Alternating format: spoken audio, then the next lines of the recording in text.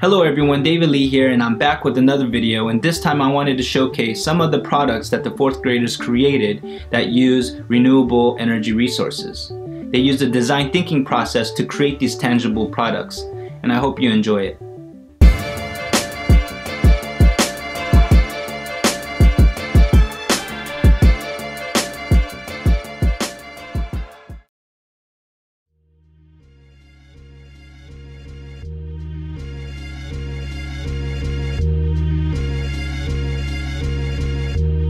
This is a Ryan Little production.